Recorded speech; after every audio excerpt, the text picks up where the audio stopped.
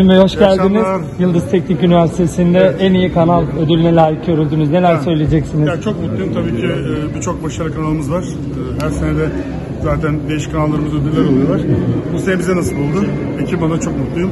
Bütün çalışan arkadaşlarımıza hepsine çok teşekkür ederim. Programlar çok güzel devam ediyor Evet. ama Survivor çok gündemde, çok konuşuluyor. Harika bir sezon başladı. Neler söyleyeceksiniz? Yani çok mutluyuz. Yani seyircilerimizin ilgi göstermesi bizi çok mutlu ediyor. Benim zaten hayatta en mutlu olduğum şey ne diyorsanız yaptığım işlerin seyredilmesi.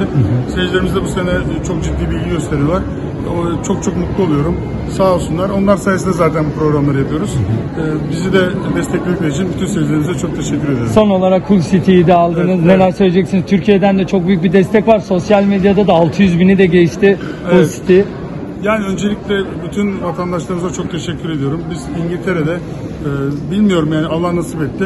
Şu anda e, ciddi bir Türk sevgisini bir şehirle buluşturduk. E, yani şu anda Rusya'daki daha doğrusu Hul'daki e, bütün insanlar Türkiye'ye karşı çok sıcak ve güzel duygular içindeler. Ben de seyircileri çok sevdim. Buradaki insanların yaklaşımları çok çok güzel.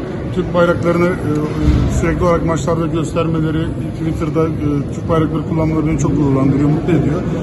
Bir ülkeyle bir şehrin e, mükemmel bir e, birleşmesi oldu diye düşünüyorum.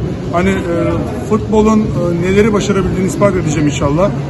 Futbolun bir şehri nereye taşıyabildiğini göstermek istiyorum. Peki çok teşekkür ediyoruz Bey. İyi akşamlar. Dördüncü